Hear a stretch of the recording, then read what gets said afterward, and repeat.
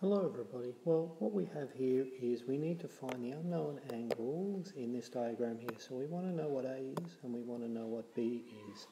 Now, the thing is, if you draw a circle and you put in like a, a chord here and you get a, and you draw from the chord to the opposite side of the circle and you create an angle here.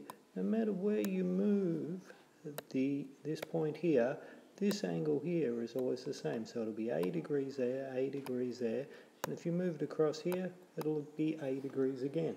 So it doesn't matter where you move it, you'll always get the same degrees if you move this point around your circle. So that would mean that if we drew a line in here, we'd have exactly the same situation in this one as we do in this diagram here. So A would be equal to 43.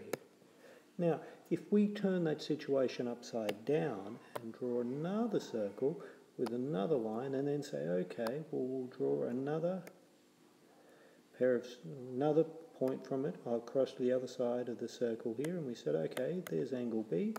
If we did another point like that, that would be angle B as well, it would be exactly the same. And that there would be angle B. Now, what that means is that here, if we drew in a line there, and we said, okay, from there to there, angle B is 51, it will be the same as that there. So, these two angles are equal, so B would be equal to 51. Or if you just want to remember it, that and that are the same, just like that and that are the same.